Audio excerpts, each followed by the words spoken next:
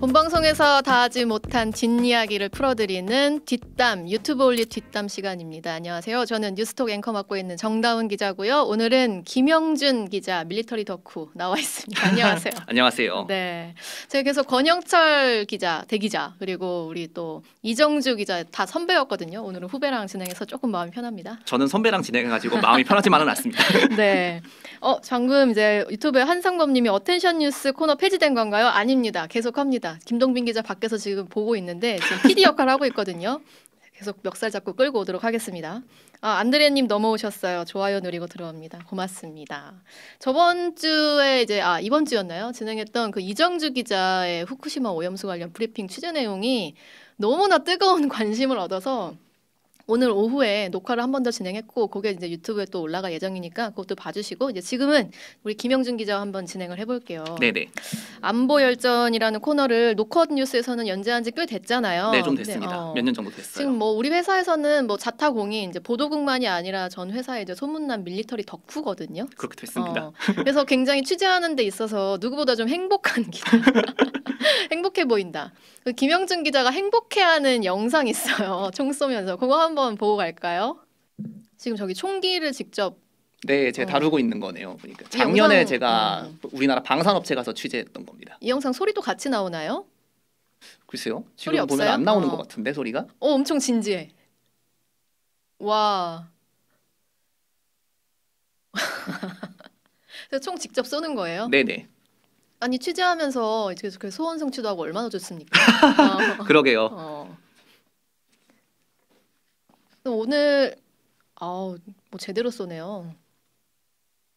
저거 말고도 아마 더 있는데 뭐 시간 관계상 뭐 많이 다 보여드릴 수- 드릴 수는 없고 아니 저 총기가 뭐예요, 저게? 저게 STC-16이라고 어. 그 얼마 전에 우리 군에 중요한 임무를 수행하는 특수부대에 지급되는 총기를 네네. 대체하는 신형 총기로 선정된 모델입니다. 어, 써보니까 어땠어요? 저거 당시에는 신형 평가를 받고 있었었는데 네네. 직접 쏘아 보니까 아무래도 기존 총들보다 좀 더 조작하기도 편하고 어. 견착해서 쏘기도 편하고 제가 웬만한 우리나라 제식 총기는 다 써봤거든요. 아 그래요? 예, 근데 괜찮았습니다 쓰기. 이름도 막 다 외우고 있어요? 뭐 다 그 엄밀하게 다 외우지는 못하고요. 다만 뭐 어떤 역할을 하는지 음. 뭐 그런 거에는 제가 관심이 좀 많아요. 어, 잡지사 밀덕 기자님, 초코슈님 알아보시는 분도 계십니다. 아예 맞습니다. 잡지사에도 아, 지금 출연하고 제일 있습니다. 좋아하는 총이 뭐예요? 제일 좋아하는 총이요? 음, 사실 좋아하는 총은 없고 권총 같은 경우에는 음. 지금 글록을 제일 많이 쓰고요. 글록? 네. 들어도 뭔지 모르겠어요. 집에 갖고 있는 건 아니겠죠? 아니 당연히 실총이 어디 있습니까 우리나라에?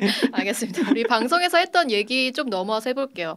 항모 얘기했는데 사실 저도 뉴스 를 진행하면서 이제 뭐 미국의 항모가 뭐 부산항에 들어왔다 이런 얘기하면서 그냥 알고 있을 뿐이지 사실 그게 무슨 어떤 기구인지 뭐 규모가 얼마나 되는지 잘 몰라요. 네네. 이게 무슨 의미가 있길래 이렇게 중요한 거예요? 이게 항모가 그게 쉽게 말씀드리면 전투기를 탑재한 배예요. 전투기가 올라타 있는 배. 네. 그리고 전투기도 크니까 어마어마하게 크겠네요. 한 250에서 300m?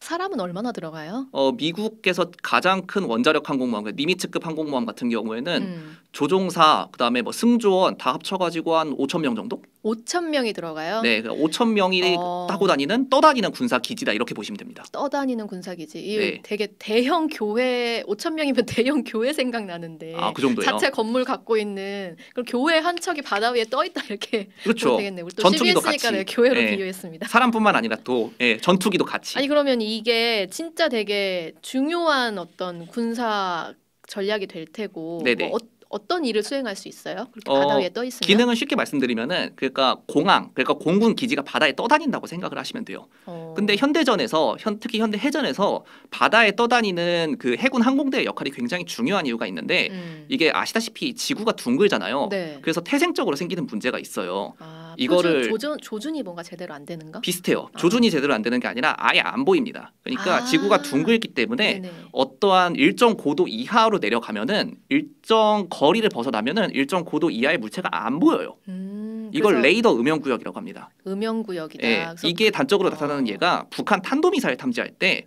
일정 거리 이상으로 날아가면은 네. 그게 탄도미사일이 이렇게 위로 쭉 올라갔다가 내려가잖아요. 음. 이 내려가는 과정을 못 잡는 경우가 있어요. 근데 아. 어쩔 수가 없습니다. 왜냐면 음. 너무 멀리 떨어지는 거라서 못 잡는 거기 때문에 그러면은 여기 있는 음영 구역에 있는 걸 어떻게 봐야 되느냐? 음. 헬- 결국 항공기를 띄워서 볼 수밖에 없거든요. 그러면 항공기를 또 바다 위에서 띄워줘야 되니까 그렇죠. 래서 항모가 중요해진다는 거네요. 맞습니다.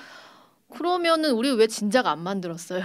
이게 여러 가지 문제가 우리 있었었는데 전시 상황인데. 일단은 우리가 이제 북한의 위협에 대처를 주로 하고 있기 때문에 네. 육군 위주의 군대로 편성이 됐었습니다. 가까우니까 어쨌든. 음. 그리고 실제로 북한하고 지금 155마일 휴전선을 맞추되고 있는 건 사실이잖아요. 정확히는 네. 군사분계선. 아. 어쨌든 마주되고 있는 건 사실이니까 육군의 역할이 중요했고 음. 해군도 마찬가지로 이제 동서 남해에서 북한의 위협에 대처하는 게 더 중요했다고 생각을 했었었는데 음. 전임 정부에서는 약간 더 넓게 봐야 된다 이렇게 어. 생각을 했었던 것 같아요. 넓게 봐야 된다는 거는 다른 적에 대처해야 된다는 거예요? 어떤 의미예요? 뭐 다른 적이 어디가 될지는 모르겠지만 음. 쉽게 말해서 뭐 우리가 대만 해협이라든가 네. 제가 뭐 구체적으로 지역명까지 어디 말씀드리기가 좀 민감해가지고 좀 말을 아끼려고 하는데 음. 뭐 태평양, 뭐 필리핀 해, 뭐 등등등등 뭐 여러 가지 구역에서 음. 주변국 과 어떠한 분쟁이라든가 혹은 뭐 음. 나라가 아닐지라도 어떤 분쟁이 일어날 수 있다 그렇게 생각을 한 것 같아요. 어. 일리가 없는 말은 아닌 게 실제로 이거를 군사 쪽에서는 해상 교통로 보호다 이렇게 말을 하는데 음. 우리나라 무역 중에 해상 교역에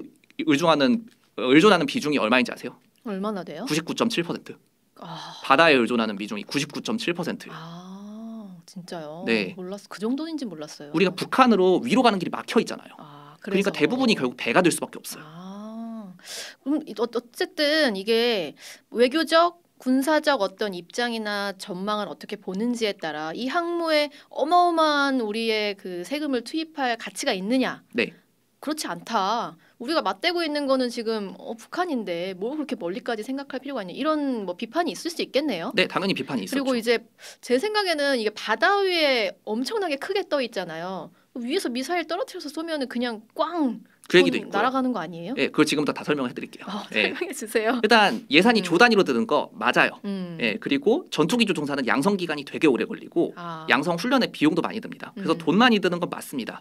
그리고 어 하- 뭐 돈도 많이 드는 것뿐만이 아니라 이제 사람을 키워야 되는데 네네. 우리나라가 지금 초저 출생이라 사람이 지금 부족하잖아요. 음. 근데 아무리 규모를 줄인 경항공 모함이라고 해도 거기에 탈 사람을 지금 어떻게 구하느냐 음. 이런 문제가 많이 제기가 됐었어요. 그리고 그 돈이면 미사일도 만들 수 있을 아 거예요. 그러니까 어. 실제로 그래서 그 돈이면 항모가 낫냐 미사일이 낫냐 잠수함이 낫냐 이걸로 진짜 항공모함 도입이라는 얘기만 나오면 허관날 싸웠었습니다 진짜로 이게 그냥 그냥 군사에 관심 어. 있는 그냥 시민분들뿐만 아니라 전문가들도 여기에 대해서 의견이 많이 갈렸었어요 그렇군요. 네. 음.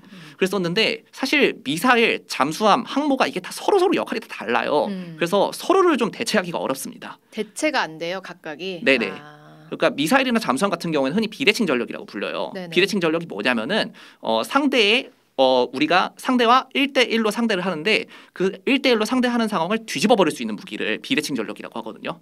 뒤집어 상황을 완전히 바꿔 버릴 수 그래서. 비대칭이라고 합니다. 아. 쉽게 말해서 핵미사일. 아. 예. 그냥 안전 게임 끝. 이거 네. 쓰면. 네. 어. 그런데 항모는 대칭 전력입니다. 아. 대칭 전력이 뭐냐? 1대1로 이 전력을 갖다 놓으면 상대가 가능한 전력입니다.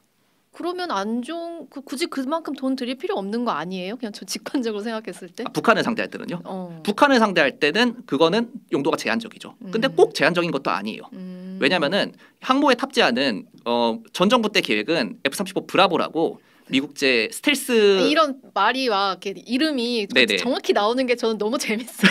F35 뭐라고요? 브라보요. F35 브라보. 네. 그게 뭐예요? 아, 그 보통 A, B, C 이런 거를 읽을 때 네. 이 군용 phonetic 알파벳이라는 말이 있어요. phonetic 알파벳. 그게 뭐냐면은 무전을 할때 네네. A, B, C, D 이렇게 읽어주면은 어. 이게 사람이 헷갈립니다. 어. 그래서 alpha, bravo, charlie, delta, echo, foxtrot 이런 식으로 약간 이름을 붙여가지고 읽거든요. 네. 1, 2, 3, 4 읽을 때도 1, 2, 3, 4, 5, 6, 7, 8, 9을 이런 식으로 약간씩 아. 바꿔가지고 읽어요.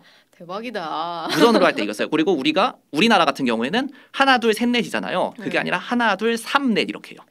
거의 뭐 지금 랩을 하고 계시, 계시는데 어, 하여튼 하던 말 하던 말 뭐였죠? 네. 아, 그 F-35 브라보 어. 전투기를 탑재해서 그 지금 우리가 원래 지상에도 보유하고 있던 전력이 F-35 알파거든요. 네, 네, 공군에서 네. 운용하는. 네. 근데 F-35 브라보를 항공모함을 통해서 바다에 띄어서 거기서부터 발진을 시키면요. 음. 물론 북한군 입장에서는 어디서 날아오든 결과는 어차피 똑같지만 음. 어차피 깨지지만 어, 바다에서 우리가 쓸 수 있는 어, 뭐라고 해야 될까요? 전력이 하나 더 늘어나는 거예요. 음. 굉장히 우수한 항공 전력. 우리가 아. 지금 채택한 북한 핵 미사일 상대하는 그거 중에 아. kill chain이라는 게 있어요. 네네네. 쉽게 이야기해서 북한이 우리한테 미사일을 쏘려고 한다는 징후를 우리가 뭔가 포착을 어. 포착을 한다. 그러면은 바로 그거 쏘기 직전에 친다. 음. 선제 타격한다. 음. 그 얘기예요. 이게 kill chain이거든요. 우리 지금 본 방송에서 이야기했던 핵심 질문의 그 근거가 이제 하나 이제 포착하지 않고 간 게 있는데 네. 자 이- 어쨌든 이 방금 이 항공모함이 북한과의 관계에서도 어떤 역할을 할 수 있는지를 지금 잘 설명해 주셨잖아요. 근데 이 정권 들어와서 그 얘기가 지금 쏙 들어갔단 말이죠. 네네. 왜 그런 거라고 보세요? 왜 그런 거냐면요. 음. 음, 제가 지금부터는 조금 좀 민감한 얘기인데 네. 그리고 좀 조심스러운데 음. 제가 육군사관학교에 주홍 글씨를 씌우자는 게 아닙니다. 어, 갑자기 육군사관학교. 네. 근데 윤석열 정부가 들어서면서 음. 국방부랑 군 특히 육군 고위층의 핵심 요직이 전부 다 육군사관학교 출신이 됐어요. 맞아요. 그 문재인 정부 때는 사실 많이 바뀌었잖아요. 많이 육, 바뀌었어요. 육군 인력이 거의 많이 빠지고 뭐 네네. 해군 공군이 많이 들어갔었는데 해군 공군 그리고 음. 육군사관학교 외에 뭐 삼사관학교, 삼사관학교 ROTC 그렇죠. 음. 그다음에 뭐 학사장교. 근데 지금 그게 완전히 바뀌었어요. 그 네네. 지휘부가. 예. 지금 일단 국방부 장관님 육사 40기입니다. 음. 국방부 정책실장님 육사 45기고요. 예. 그리고 또 어, 여당 의원들 중에는 어, 신원식 의원 육사 음. 37기 그다음에 한기호 의원 육사 31기인가 그럴 겁니다. 또 다 외우고 있어. 그러니까 그게 이게 전 정권에서는 육사 비육사가 네.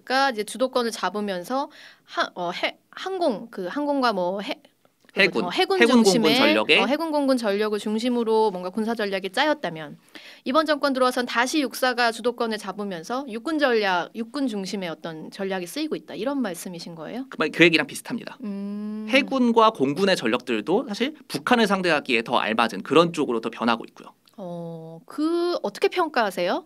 평가를 한다는 게 음. 쉽게 얘기해서 아 북한을 상대하는 거요. 아 북한은 그러니까 김영준 기자가 생각했을 때, 네네. 어, 뭐 아까 각각의 장단점이 있다고 생각 말씀하셨는데, 네. 네. 뭐 이런 식의 변화에 대해서 어떻게 평가하시는지. 어, 그 윤석열 대통령께서 음. 대선 후보 시절에 페이스북에 올린 글 중에 이런 게 있었어요. 주적은 북한이라는 한 줄짜리 말 올렸었던 거 혹시 기억나세요? 어. 네. 근데 저는 이 주적 개념이 굉장히 부적절하다고 생각하는 사람이거든요. 음. 왜냐? 국제 정치에는 영원한 적도 없고 영원한 친구도 없습니다. 네. 그러니까 어느 나라가 적이 될지 모르는데 그 북한은 북한국가 북한 정권은 지금 국방 백서에서 우리의 적이라고 규정을 하고 있거든요. 음. 그리고 우리가 군사적으로 대치하고 있는 적대적인 상황인 건 사실이에요. 음. 그건 누구도 부인하지 않아요.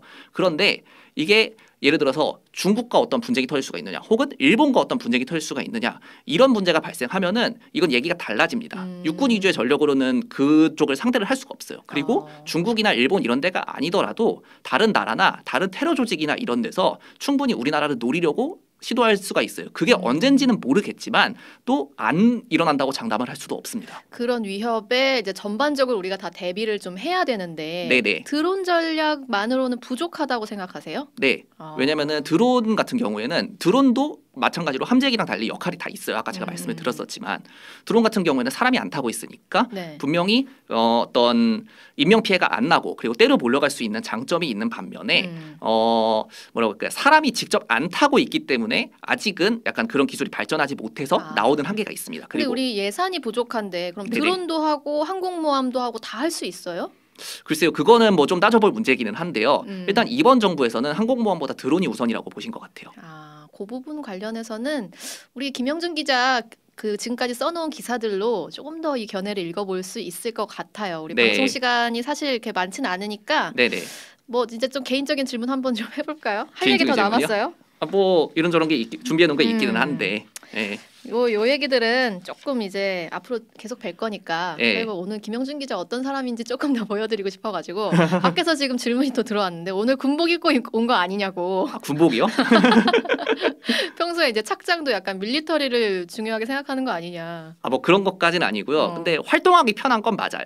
이거 긴팔인데 오늘 안 더웠습니까? 아니 접고 왔잖아요. 아 접고 왔어요. 어.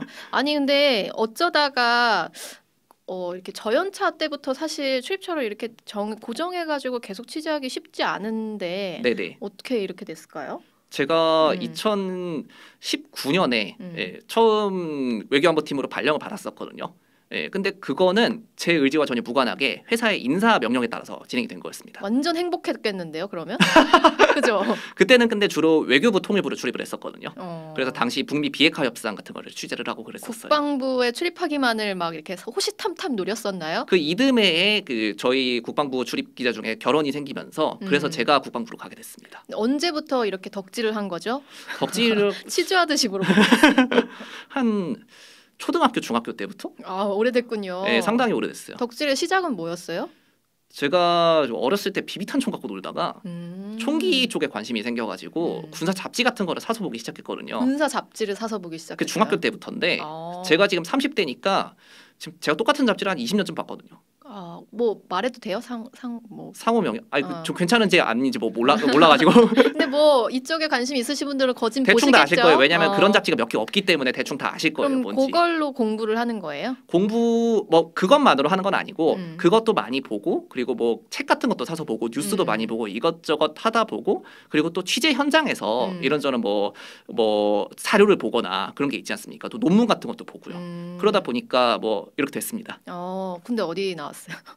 네? 군대 병장 제대 한 거죠? 네, 육군 어. 병장이에요. 어. 그러면 이제 실제 막 장성들 만나고 할 때마다 가슴이 막 두근두근 하겠네요. 두근두근 한다기보다는 음. 뭐라고 해야 될까요? 그분들은 일단 제가 뭐 인터뷰를 위해서 만난다거나 음. 뭐 아니면은 뭐 어떤 말씀을 여쭤보기 위해서 만난다거나 그런 분들이기 때문에 뭐 그거는 다른 기자들이 만날 때랑 그렇게 큰 차이는 없습니다. 그래요? 네. 그래도 누구 만날 때는 어 진짜 보고 싶었는데 막 이런 마음 들었을 때 있을 거 아니에요? 아 뭐 몇몇 분들은 있죠. 있, 그랬어요. 예, 어. 뭐 실명을 말씀드리기는 좀 그렇고 예, 뭐 그런 분들은 분명히 있습니다. 제가 평소 에 아 이분들은 정말 어. 훌륭한 분들이시다고 생각했던 뭐 그런 분들. 모니터에 나오는 우리 김영준 기자 얼굴 참 행복해 보여요.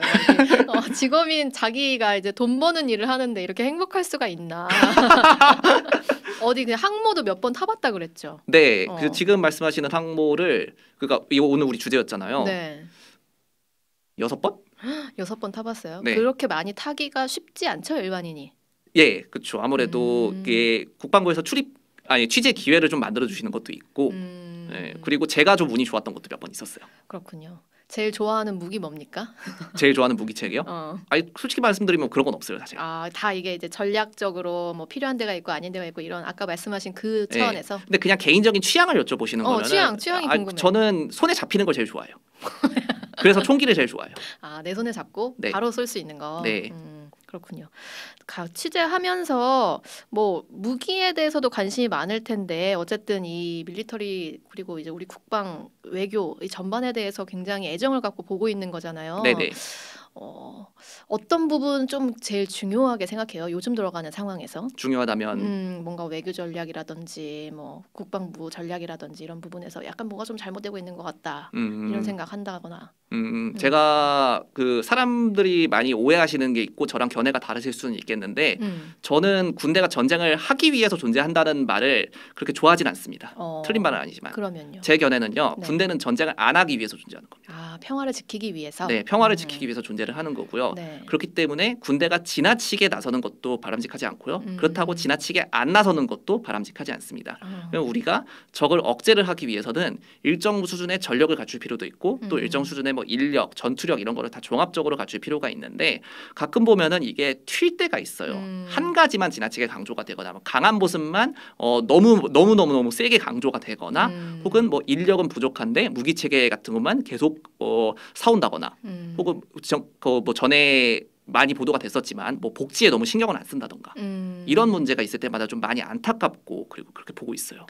자, 우리 김영준 기자가 그 군대가 어때야 되는가, 군대는 왜 존재해야 되는가, 전쟁을 하지 않기 위해서다. 이 말을 쓰- 이 말에 공감하는 분들은 굉장히 많으실 것 같아요. 저도 지금 좀 공감이 되거든요. 그럼요. 어, 앞으로도 우리 김영준 기자의 이런 정보 그리고 관점 열심히 잡지를 읽으면서 이제 습득한 이런 지식들에 대해서 같이 좀 지켜봐 주시면 좋겠습니다. 매주 목요일 오실 건가요? 격주 아니었네. 아 격중 매주로 한번 퉁쳐보려고 했는데 여기까지 하겠습니다. 인사해 주세요. 네, 감사합니다. 고맙습니다.